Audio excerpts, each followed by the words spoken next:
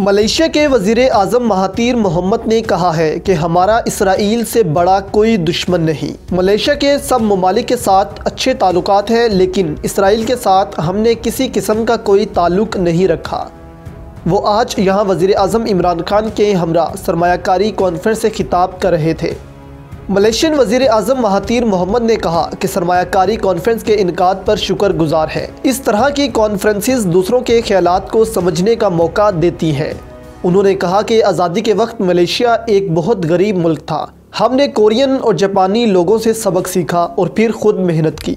ہمیں دونوں ممالک کی سرمایہ کاری کو بڑھانا ہوگا۔ انہوں نے کہا کہ ملیشیا تمام ممالک کے ساتھ تجارت کرنا چاہتا ہے۔ مہاتیر محمد نے کہا کہ روزگار فراہم کرنے کا بہترین ذریعہ سنتے ہیں۔ زراعت کے شعبے سے ہم ایک فیصد، جبکہ ایک فیکٹری پانچ سو لوگوں کو روزگار فراہم کر رہی ہے۔ انہوں نے کہا کہ کسی ملک میں سنتے ہوں گی تو لوگوں کو روزگار ملے گا۔ انہوں نے پاکستان میں پروٹون کار انڈسٹری لگانے کا اعلان بھی کیا۔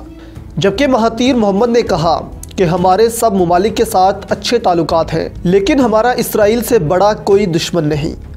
اسرائیل سے ہم نے کسی قسم کا کوئی تعلق نہیں رکھا۔ اس موقع پر وزیر اعظم پاکستان عمران خان نے کہا کہ مہاتیر کو پاکستان میں خوش آمدید کہتے ہیں۔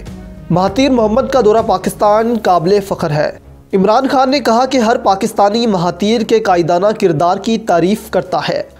عمران خان نے کہا کہ لیڈر وہ ہوتا ہے جس کے پاس آئیڈیولوجی ہو اور مشکل وقت میں کھڑا ہو سکے۔ عمران خان نے کہا کہ مہاتیر محمد نے ملیشیا کو تبدیل کر کے رکھ دیا ہے۔ مسلم ممالک میں ایک ماڈل ملک ہے جس نے اپنے وسائل سے ترقی کی ہے۔ وزیر اعظم عمران خان نے کہا کہ مہاتیر یوم پاکستان کی تقریب میں شرکت کریں گے۔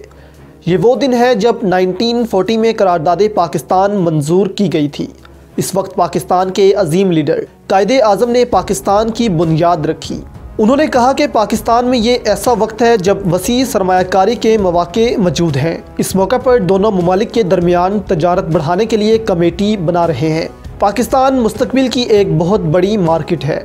چین اور دوسرے ممالک کے ساتھ منسلک ہے، جس سے تمام ممالک فائدہ اٹھا سکتے ہیں۔